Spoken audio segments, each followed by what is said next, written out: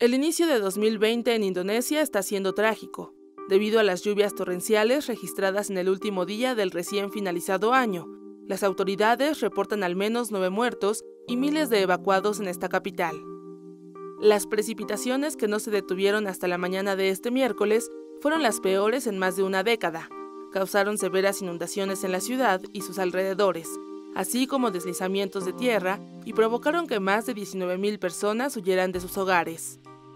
De acuerdo con Donny Monardo, teniente general de la Agencia Nacional de Mitigación de Desastres, quien a bordo de un helicóptero realizó una exploración aérea sobre las áreas afectadas, lo peor está en el este de Yakarta, con 9.248 personas desplazadas, y en el sur, con 5.080, dijo Monardo, citado por The Jakarta Post.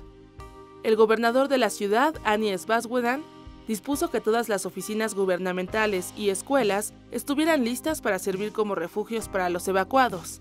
Baswedan priorizó varias áreas en el este de la ciudad para la evacuación de los damnificados. Según dijo, 3.535 personas estaban evacuadas en refugios temporales al oeste de Yakarta, 888 en el norte y 310 en el centro.